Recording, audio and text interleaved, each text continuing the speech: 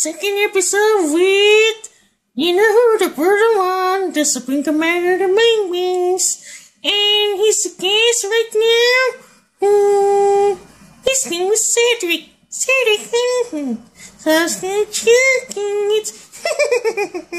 it.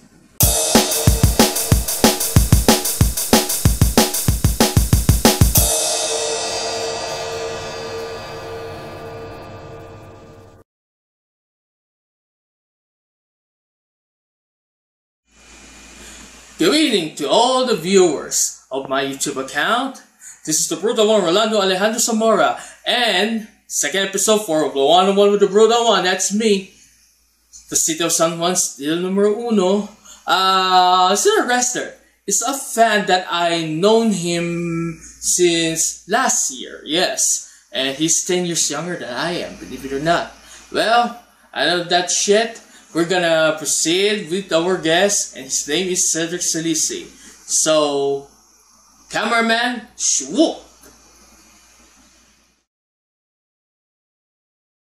Alright, here we go at the main base, the Baguio San Juan. And then, right now, I'm chit-chatting with Cedric Salisi. Tama ba ang pangalan mo, boy?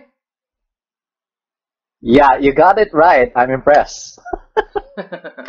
I'm impressed. So- a lot of gu- a, a lot of the guys usually mispronounce my name, but you got it right. So thanks, man. Mm-hmm. Okay, I had to increase a little bit of the volume to ensure we got it all right up in here. And make ourselves feel at home, boy. Alright, now, the video recording still continues, and then, there you go. So, musta ka na dyan sa Batangas, boy? Yeah, it's been like a rough two to three months now. I've been home for more than three months, and fortunately, I cannot go from uh, work from home as uh, my employer had offered me to do. Pero yeah, I, I would rather um, not risk my job and try to work uh, on the office instead. Hmm, which it did work, right? Mm, somehow, um, hindi pa kasi, no work, no pay kasi eh. So, sadly, I understand you have to no, do what it takes. no budget somehow. Mm, you have to do whatever it takes, even though the risk is always been there. No matter you want to be safety. Hindi biro na yan. Uh, it happens to everyone. It doesn't matter what standing are you rich, middle class, poor, whatsoever. Eh, kailangan mag, ano, mag-work in order for you to get some, you know, earnings and possibly some stuff like that, income like that. Anyway, uh, let's proceed with this uh, question of mine. Kailan ka nagsimula naging isang professional wrestling fan uh, in any given capacity?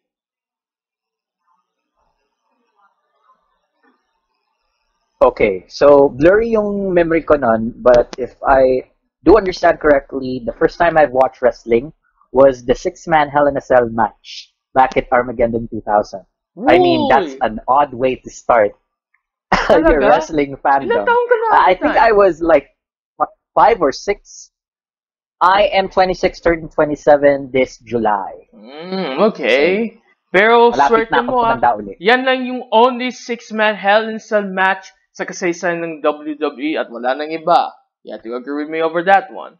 Anyway, ever Correct. since then, uh, how many Yeah. years nag-watch ka ng WWE before nag-stop ka ulit? Oh, nag-stop ka for the first time, actually. Well, the first time that I officially watched uh, WWE programming was back in 2003, where the Ruthless Aggression area, uh, era began. So, I've stopped, well, sa totoo lang, nag-stop ako mag-watch ng wrestling la, um, around 2008. Kasagsagan ng WrestleMania 24, 25-ish. And then, nag-return ako manood ng wrestling um, in time of the 25th anniversary of WrestleMania. The Which 20th the time, anniversary of WrestleMania? Um, or 25th?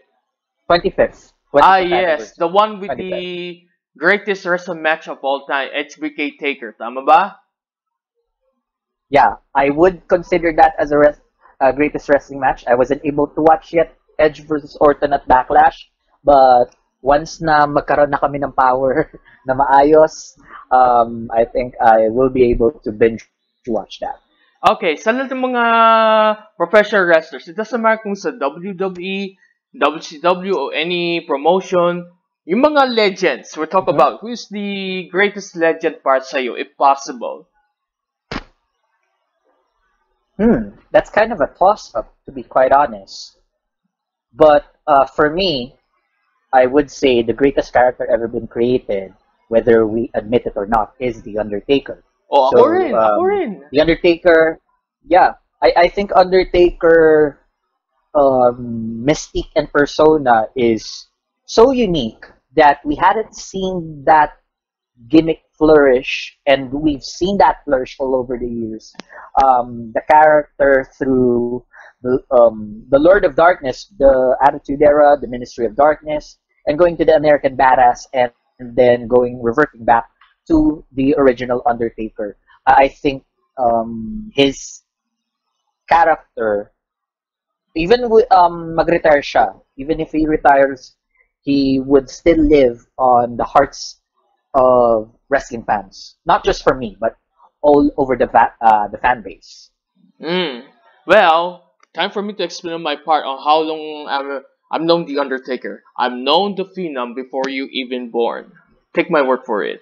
Uh, I'm 37 years old, which Yeah. means 10 years older sa'yo.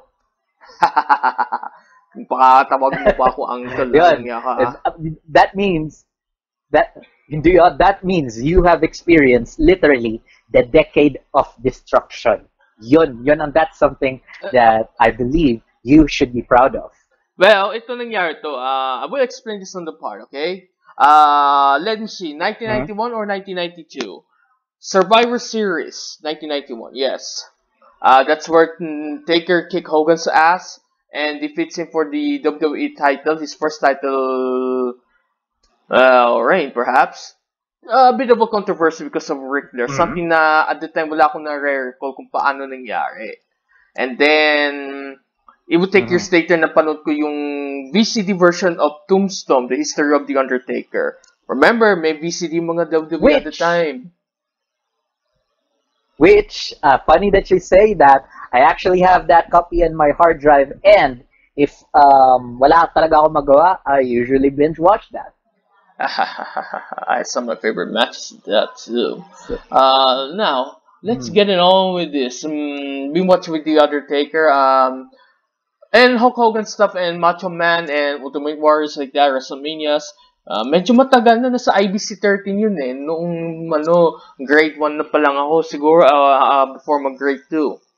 And then bigla na stop ako watching wrestling like maybe a couple years kasi walang ano sources whatsoever o bigla na wala yung hili ko, iba yung ano like that. And then sometime in 1998, uh, separately I see some Raw is War stuff and I'm not so sure King of the Ring or what. Pero it was on 1999, nagpo-full force na ako muli. Uh, during the Star TV era Ayun na. sa WWE, este, WWF. Uh, meron pa naman isang Chinese na nag-host doon like that, if you could still recall it. Hmm. And yes, I did. Damn. Nabot ko yung Lord of the Darkness na Undertaker. Yung second version is the Minister of Darkness na Taker. And then the way he formed the Minister of Darkness. And then he formed a tag team with the Big Show and etc. etc. etc. And then ko si American Badass, si Big Evil, bumalik niya naman sa roots niya. Parang hybrid ng ano, old school Taker at American Badass na personas. And the rest is history. well, Yeah. Well, you kind of miss out the the corporate ministry. the corporate, corporate ministry, ministry, you kinda yan, missed yes. that one. Pero, ma- ma- malupit rin. Listen, listen here, Cedric. I have Hmm. WWE hardcover na books, okay? Um, let me see. Res- Okay. WWE at 50, that's one, and the 30 years of WrestleMania. And believe it or not, maniniwala ka ba sa akin na sasabihin ko sa'yo, meron akong mga collection ng WWF magazines. Ah, may ilan dyan mula kay Undertaker. Maniniwala ako. I would believe that because uh, uh, as I've uh, listened to you when uh, PWR Live usually is um, uh, on the Makati area. It's ah, like, yes, the MCS days. man, Is it? ato magkakasundo. No, um, it's actually at the Makat um, Paramac. Eto, nag, when I'm uh, started watching uh, PWR officially back in January 2019. So I think Ah, for me it's nagsimula. best decision. Okay, before that one, Oh, oh. um, what what got you into PWR? I'm curious. I mean, medyo late ka lang nagsimula, di ba? Well, we'll explain to you. After Um, sa'yo, I explain my part, okay? Proceed. Okay, so originally, um, PWR for me, I originally um, uh, started watching it when it was on the internet. Uh, I think um, they have these live specials in TV5 or Sports 5, if I'm not mistaken, and that's the time that I've watched like um, uh, Mayhem Brannigan, um, Ken Warren, Chris Panzer, and then the main event, which is who um, who Classical shall Brian not Leo. name Ka- Classical versus, Brand Leo uh, and JDL. Jake De Leon, tama ba? yeah classical Brian Leo. Yeah, alam Yeah, ko, napaka it. malaking And then, controversial yung I tao fo- na yan. Sobra. We, ano, tuloy mo. I'll explain, uh, Yeah, talk about that one later. Yeah. Now, on the other side of things, um, there was the first APCC. I believe that was in 2016. 16 or 17? Yan. I, 16, yon, 16. Yan yung pagkatapos Kasi yung Revolution I X. dressed as Finn Balor. Yeah, I dressed as Finn Balor at that time. Ah. And uh, I was uh, chatting this with my friends, uh, the wrestling buddies, shout out, um, that I was the, the topless Finn Balor. And they couldn't believe it because I stayed on the SMX uh, venue for the whole entire event topless. And they couldn't believe it.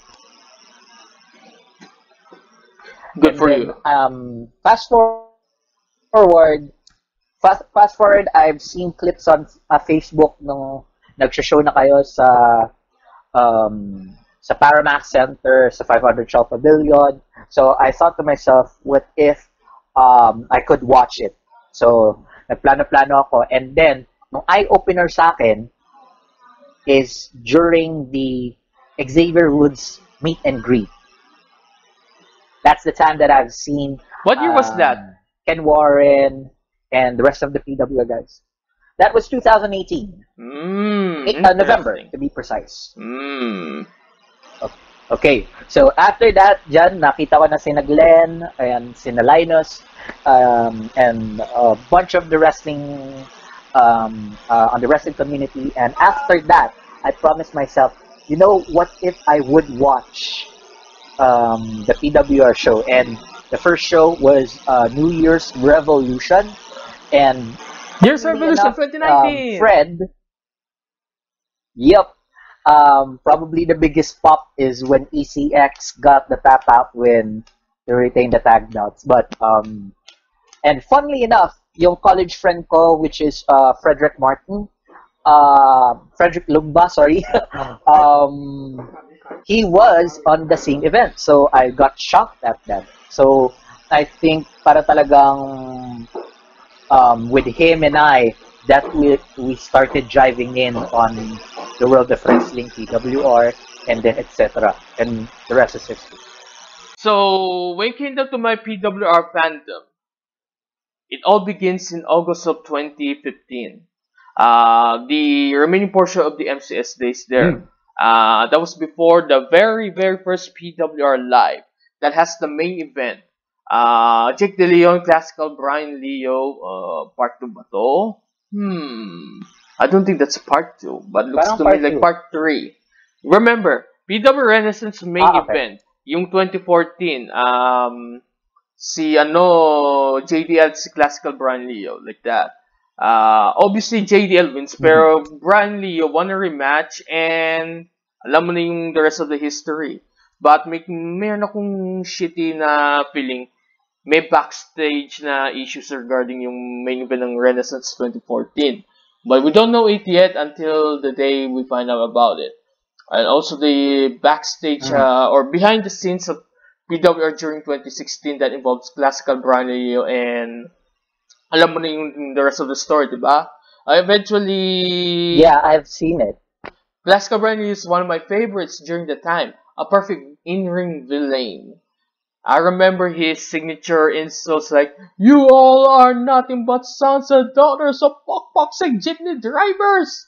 Have you recalled something like that before? Mhm. Brutal. I remember, Anna. Yeah. heel na heel talaga. It worked. I even bold. I like that line. I even like his uh, signature catchphrase. One, two, three. Would you please look at me? For those of you who don't know, Mhm. you should know. Alam mo na yung sunod na linya, so we leave it behind that one. Yeah. Basta favorite Just gonna leave it there. Yeah, remember, I've been into their MCS shows, PWR Live and Renaissance 2015. Late ako dumating. Yung masyado kong ikinasasama ng loob, kalahati lang ng portion ng laban ni Bombay Suarez at Just Sebastian yun ang panood ko, yung no holds barred match nila. Ang gusto ko lang sana sa PWR eh, kung mahanap nila yung lumang recording na yan, kapag kumpleto, post naman nila pang a little visit to the past. Kung posible. I would love to see this one, like everyone else. Throwback nga. Sana, sana, no matter what management was at the time, you had to cast aside your personal feelings and do the business. Simple as that. Mm. Kasi para parte ng history, alam na natin. Para fair naman, diba? Oh. Tapos, um, Mhm. I've been into their subsequent shows from the iAcademy. The very first one we had to be the last terminus that PW ever produced. That was the second one in 2015. Uh, Rob Mabayashi Oh. dethrones classical Brian Leo for his first PW title ring. The senior to Jake De Leon had outlasted eight other, seven other competitors in the very, very first uh, Path of Gold match. And guess what? He challenged CBL for the PW title on Revolution X 2016. That also happens in iAcademy. Before that one, uh, yung before Revolution X 20, um, 15, 2016, uh, let's say, nasa ano, uh, yung una kong, yung sunod kong ano, iAcademy show we had to be PWR Vendetta. Mhm, That was uh, February show at the time during yung ano or yung uh, first two years of PWR in its existence. And then after after Revolution X ha, let's say yung sunod show na ano siguro APCC kung hindi ako nakakamali ah ah, two days ako doon sa 2016 na I noticed na wala doon si Classical Brian Leo whatsoever. However, what I recall na Oh. before yung APCC, you know already about yung stories behind me, don't you? About me being part of the Yeah, I've actually heard it. I've actually heard it from the Wrestling Wrestling uh, podcast when they have the live uh, recording sa bar. I, I think I've watched I've watched it multiple times.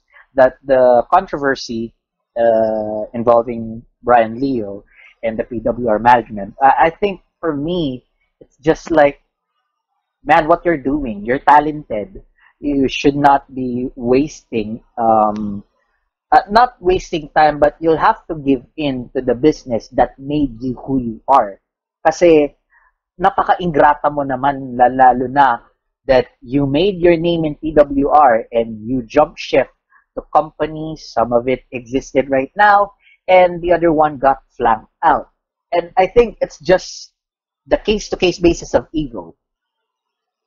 Let's let's let's let's not kid ourselves. Um, the professional wrestling business is all about ego. ego. And It did for me- exist. It did exist from the very beginning, believe it or not. And believe me, talagang, I think, um, nowadays, la- lalo na ngayon sa panahong ito, ego, must be put aside for the better part and for the bet, uh, betterment of your roster and For the business. company, for the business in general. Kasi if you would have these um, egotistical jerks. It's still a form of try to run- unprofessionalism, unprofessionalism ah. Believe it or not. Oo. Kaya ano nga, nakaka-insult, nakaka-insulto as a wrestling fan kasi we're enjoying the product, but behind the scenes, there are some bullshits. Sorry for the profanity, but uh, but there are some bullshits Mhm. um, coming in and out of the open. At if this does not been remedied, nako, it would kill you. It would kill the promotion. It would kill the last seven years that you have been in the business. Seven and years. throughout, Maybe, Ah, um, ano, over six years na yata, I think. Listen, um, I last, parang- hmm, Okay. I last learned about Brian Lee's existence yung sa bootcamp. Doon ko na siya yung pinakahuli kong nakita, believe it or not. I have a mm, fun Hmm. memories of that one. Probably you want to ask some of the guys who are there, um, naging partner. Remember who are my fellow batch six that definitely succeeded beyond expectations sa napakamadaling ano panahon. Akala ko magba one year sila pero napaka galing nila. Napakatibay. Even Trian, even Evan, even the Kaka Ibros, both, Gatillo, and even Makata, who's no longer, Mhm. affili- ano, ayaw ko kung affiliate pa sa PW, pero alam ko hindi na. And then, tingnan mo yung success nila, Kaka Ibros, yung Naughty Boys, PW Tag Team Champions in their respective timeline. Tas, yeah. Um, also, um, yung reaction ko regarding December 14, 2016. Remember yan, yung announcement ng PWR? Regarding Brian Leo got released, or should say fired. And they explain everything in there. Dagdag pa kay Redrick Mahaba, or the man behind the Redrick Mahaba character. And then, Wrestling Wrestling Podcast episode 147 doon na ng Bulgar. And the subsequent episodes na Bulgar rin yung ilan. Especially the highly controversial Batanes incident. It did happen Yeah. right after I attend boot camp. I have no idea kung sinadya ba ni Brian Leo na, or the man behind the Brian Leo character, behind the scenes, sinadya ba niya yung ginawa niya? Especially, magbubuk ng one-way flight dahil government yung magbabayad sa kanila? I don't know. ang hirap na eh. Kasi, Eh, alam mo ba nung masakting clap? Na ano yung prom, yung organizer, yung event organizer, alam mo na ba kung sino 'yun? Sa maniwala ko hindi. yung...